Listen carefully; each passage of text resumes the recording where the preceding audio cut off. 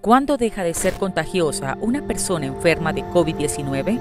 Tenga o no síntomas.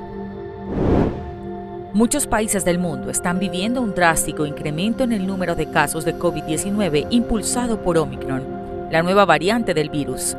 Pero a medida que se propaga esta variante parece estar quedando claro que los síntomas y la enfermedad que provoca son menos graves que los causados por sus predecesores. Y aunque todavía hay pocos estudios sobre esta variante, lo que se ha visto hasta ahora es que no solo es más contagiosa, sino que tiene un periodo de incubación más corto que las variantes anteriores.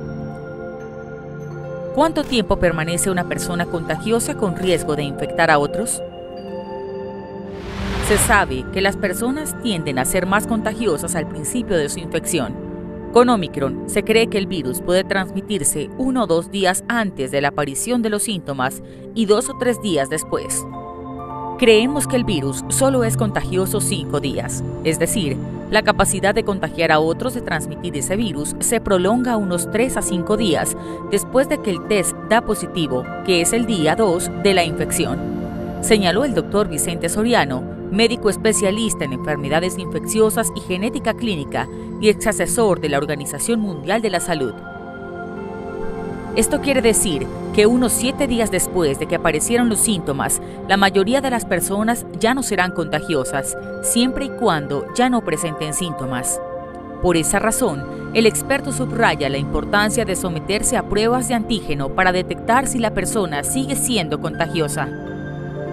Debido a que Omicron parece presentar un periodo de infección más corto que otras variantes, varios países han reducido el tiempo que deben aislarse las personas contagiadas, pero el llamado en general es a cuidarse, ya que en pacientes con enfermedades preexistentes se pueden generar cuadros clínicos severos.